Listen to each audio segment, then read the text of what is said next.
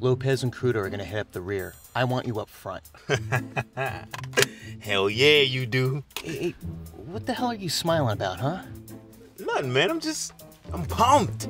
We're about to take this bitch down, put his ass away, nail him to the wall. Are you reading some kind of cop cliche handbook? This is serious shit. I know it is. Come on, you think I'm not serious? I think you look like a teenager about to pop his cherry. Wipe that dumbass grin off your face. All right, all right. I'm sorry. I'm sorry. I- Is this better? Come on, man. Look, you got nothing to worry about. Okay, this is everything I've been training for, prepping for. I got this. I got your back. I got Lopez and Crudo's back. I'm not gonna blow this thing, man. And I'm sure as hell not gonna let that druggy motherfucker walk away. Don't mistake my enthusiasm for anything other than that, alright? You can count on me. Now let's do this.